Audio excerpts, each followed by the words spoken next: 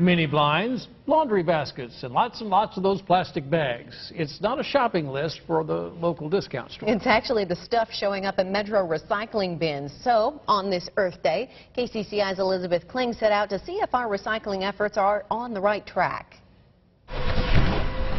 Once people start recycling, they really, really hate throwing things away, no matter what. For CG Matrician at Recycle Me Iowa, that's a good thing. Her business is helping more apartments and businesses recycle every year. But she knows her customers' passion also comes with some creativity. If anything has the word paper in it, they'll go ahead and try to recycle it, such as paper towels. Among homeowners with green bins, interest is growing as well, with more people requesting a second green bin to fill up. Des Moines area residents just really do a great job recycling overall. and But Metro Waste Authority's Leslie Holsapple says there is room for improvement. we will want to remove this plastic bag here. Plastic bags are still the biggest problem because they get stuck in the machines, but there's also people who think that anything plastic can be recycled.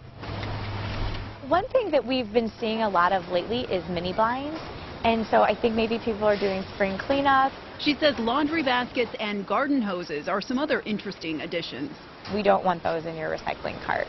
But overall, Metro Waste says we aren't doing too bad.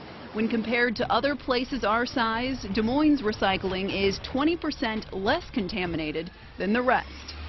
Elizabeth Kling, KCCI 8 News, Iowa's news leader. And Metro Waste says there can also be some confusion when it comes to recycling lids.